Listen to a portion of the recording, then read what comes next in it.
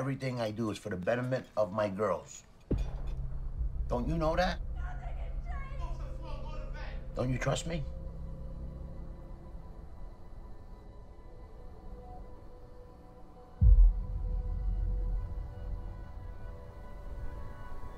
Con, is Dad an honest man? An honest man. Where'd you get that from, Rose? A man that gives you everything. Some questions are just better left unanswered. He doesn't do things right all the time, but he does them for the right reasons. Our families came in with nothing. You're led to believe that things are fair here. They're not. certain point in your life, and you gotta accept that things aren't gonna work out the way you dreamt they were. What's wrong with you? I'm trying to protect you!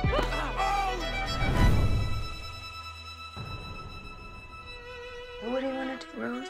We're gonna be husband and wife. We're gonna have kids. Your father's getting us the house. Well, so maybe I don't want a house for my father. You wanna know who your people are? Your family is your people. Step up and realize that or you won't have one.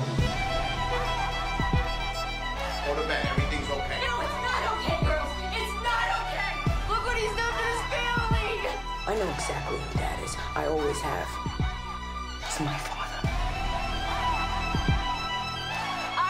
Supposed to be the good little girl. Have respect. Live by the rules in this world that I did not choose. I'm your father.